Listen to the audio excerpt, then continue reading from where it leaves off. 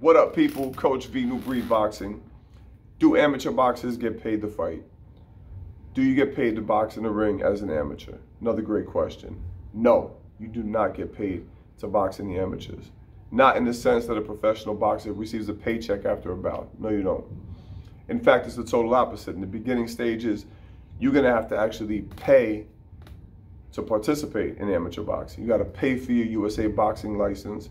You got to pay for your training, your gym dues. You got to pay for your equipment. You got to pay for your travel. You got to pay for your food and whatever other extra, you know, things that you might, might want to implement into your training regimen or whatever. Um, and there are some organizations out there, some nonprofit groups that are, you know, geared towards, you know, financing amateur boxers' careers and stuff like that. But you better believe you're gonna have to be paying your dues to even show them that you belong in that ring and you actually have the mental, physical, and spiritual fortitude to stick it out and make a career out of this because they're not trying to waste their time and money on just anybody because it can get expensive. Um, you know, amateur boxing is going to entail you at some point progressing onto the national level and then the international level. Now, that is where you will start seeing some kind of compensation in the form of sponsorships.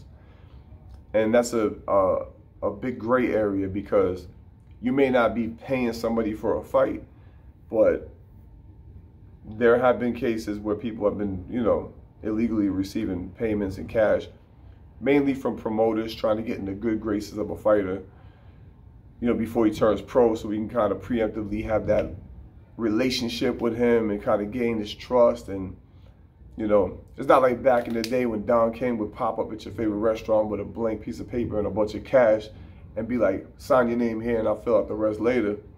I don't think that's really happening like that anymore. Although I wouldn't be surprised if some people are still kind of pulling some funny moves. But you gotta you gotta really be at the top of the food chain. You gotta be somebody who's on his way to being, you know, uh, a superstar. You know, and they know. I mean, once you spend a certain amount of time in the sport of boxing, like you're not going to you're not going to get to that level in a year. You know what I mean? You're gonna. It's obvious you're gonna pay your dues. Once you got a substantial amount of fights under your belt with a winning record, you've already proven the test of time.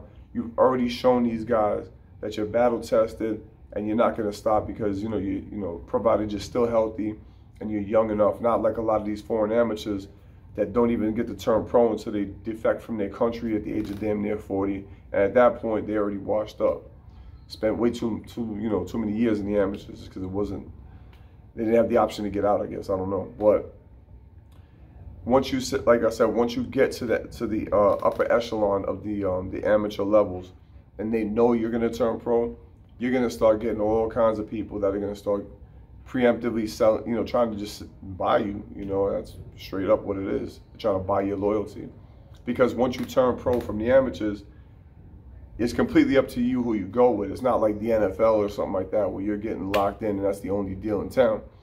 With the amateurs, you know, that's you're still like a free agent when you're turning pro from the amateurs to the pros, and you can go whoever you want to. You know what I'm saying? So these guys are kind of fighting for your uh, for your attention, so to speak.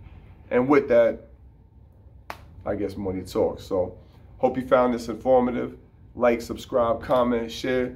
Go check out my Instagram, coach.v underscore and put in the comment section if you know of any stories of guys that were receiving, you know, some kind of compensation and what it was. And, you know, you got to put nobody's name out there, their business. But I'm always interested to see what kind of deals are being made out there, you know. Very interesting stuff. Anyway, hope you found this informative. Till the next time, we up out of here. Out.